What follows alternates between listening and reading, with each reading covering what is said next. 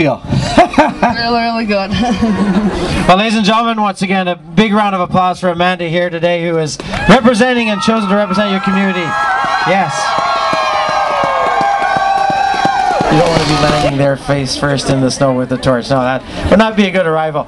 And tell us, how were you chosen for this? Come over here. You're, you're worrying me. Those are waterproof, but I'm not sure they're flame-proof. how were you chosen? Explain to us how you got the call and what was your, your feeling. Uh, well, I got an email saying that that I was chosen, and that's how I knew. okay, well that's great. That means we're going to get along just fine. And uh, we're going to start with a pretty well-known Newfoundland song that you probably know the words to, but I'm going to get Fergus to give you the chorus just in case, okay? And we told all these people with the Olympic flame that people here in St. Anthony, especially the young ones, sing really loud and big and clear. I hear you! Seen so much red. Go Canada, go! Congratulations, St. Anthony. Today? Is that not amazing? That's the reason why, and you guys are the reason why Coca-Cola has done this. This is our seventh time being a partner with the Torch Relay. And for us, it's all about seeing everybody smiling, happy faces, and such a vision of positivity. It's phenomenal. We're so excited. Today we had 21 youth, so 21 teenagers run for Coca-Cola today. 20 of them were in a team, which some of you may have seen, and they were all part of a program called SoGo Active, which is about getting out and getting active. And they did something very cool because we asked Canadians to be more active or more green, and it turned out that this group, who's already super active, decided they were going to do something different instead of just doing the regular active daily lives. They were going to make a difference in their community by doing community cleanups. So they decided to do some environmental stuff too, which we thought was amazing. So I'd love to give a round of applause for the Community Youth Network.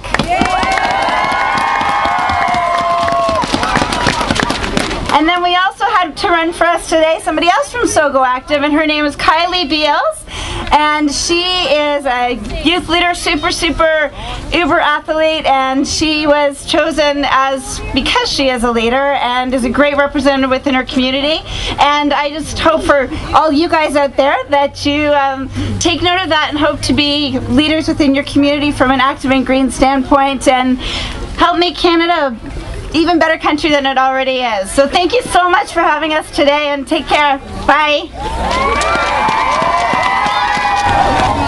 Hi, I'm Daniel Windler, and I did the run in St. Anthony, and I'd like to say good luck to my grandma, Mary Hope Wiseman, who will be doing it in Corner Brook in two days. Good luck, Grandma.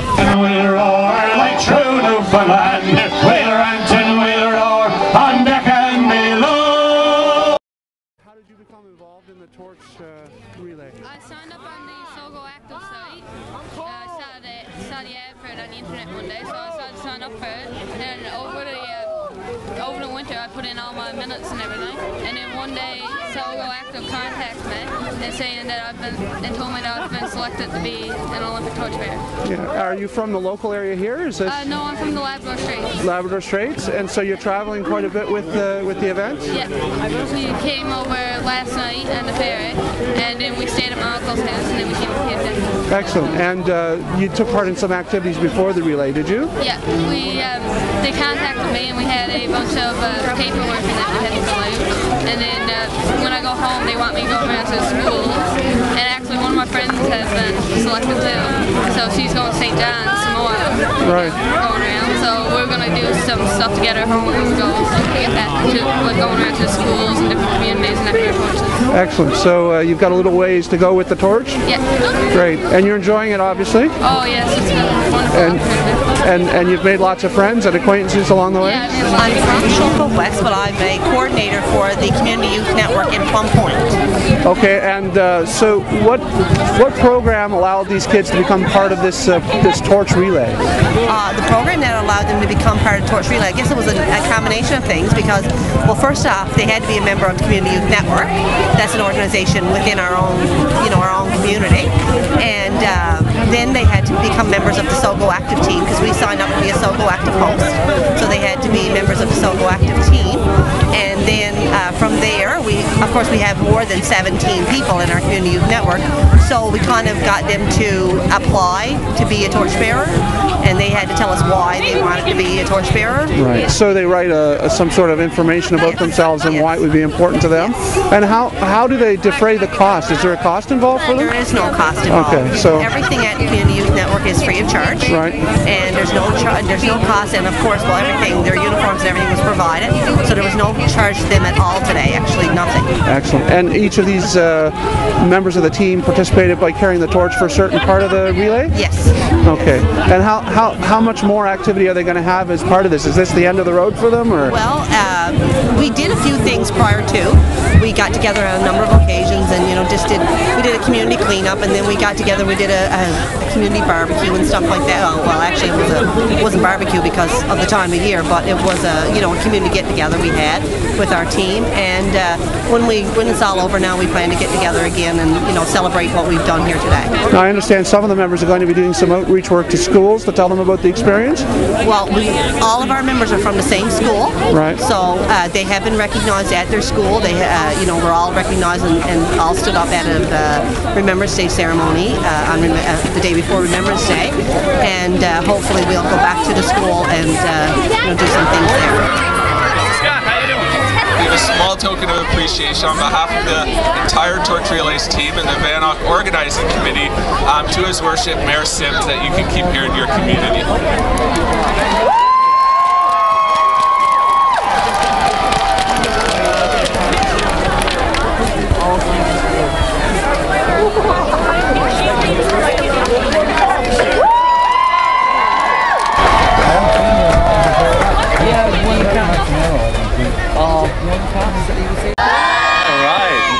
Is a great crowd. Beautiful setting. Hi, my name is Michael Malone. I'm here from RBC. And thank you so much for welcoming all of us and the Flame to your community. You know, there are many organizations throughout Canada that also make a difference, which is why we're so happy to announce today that we're making a $500 donation to the Boys and Girls Club of St. Anthony.